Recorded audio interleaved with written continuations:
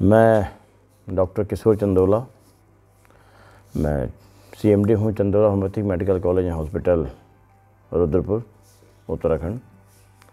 और उत्तराखंड में हमारा फार्मेसी कॉलेज भी है, लॉ कॉलेज भी है, आयुर्वेद कॉलेज भी है।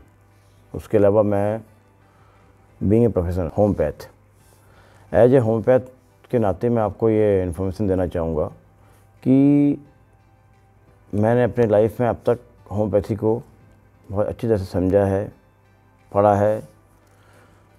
उसकी चिकित्सा को पूरे समाज में, उत्तराखंड में फैलाया है। उसके अलावा होम्योपैथी चिकित्सा शिक्षा का मैं प्रसार किया है।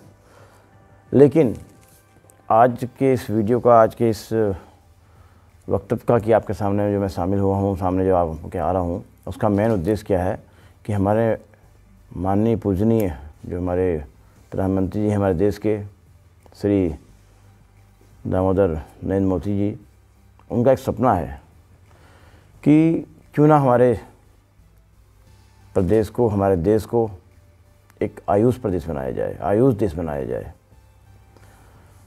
तो उस क्षेत्र में मैं आपको बताना चाहूँगा कि बीइंग ए होम्योपैथ एक हमारे माननीय मोदी जी द्वारा एक आयुष मंत्रालय का गठन किया गया।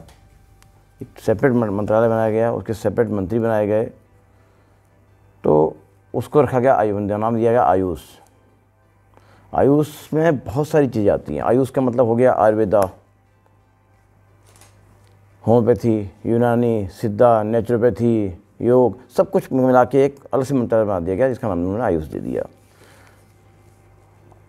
इससे पहले हमारे प्रदेश उत्तराखंड में ही हमारे बाबा स्वामी जी, हमारे रामदेव जी, उन्होंने योगा को बहुत आगे ले गए। आज के समय में हमारे देश ही पूरे विश्व को योग के क्षेत्र में बहुत आगे ले जा रहे हैं। योग के बारे में लोगों को बताया है तो वो पूरे विश्व के इस टाइम पे योग गुरु के नाम से जाने जाते हैं। तो मैं ऐसे शख्स का नमन करता हूँ। माननीय मोदी जी का नमन करता हूँ। तो हमारे रामदेव जी का एक संदेश है, योग को आगे बढ़ाओ बढ़ाओ, निरोग रहो।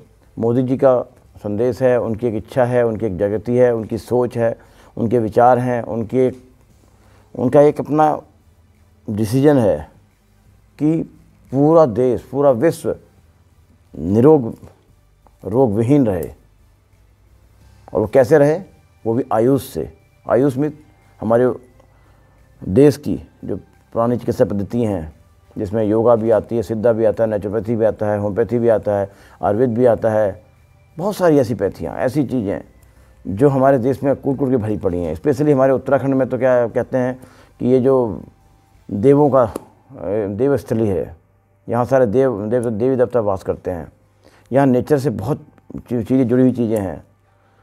तो मैं ये इसी चीज़ों को देखते हुए बाबा रामदेव जी, हमारे योगी रामदेव जी हमारे माननीय प्रधानमंत्री श्री नरेंद्र मोदी जी की जो एक सोच है, जो उनके एक डिसीज़न है इस वर्ड को निरोग मुक्त बनाने के लिए और एक आयुष के थ्रू उनको ठीक करने के लिए, मैंने भी उनके साथ एक वीरा उठाया है, कदम उठाया है, एक सोच उनके सोच, उनके साथ मैंने अपनी सोच को शामिल किया है और उनके नियम, जो उनके नियम हैं, जो उन्होंने निर्देश दिया है, जो उन्होंने सोचा है, उस चीज़ को मैं आगे बढ़ाने के लिए उनके कदम से कदम बढ़ने के लिए मैं तैयार हूँ और मैं कोशिश कर भी रहा हूँ, आगे भविष्य में करूँगा भी। नमस्कार।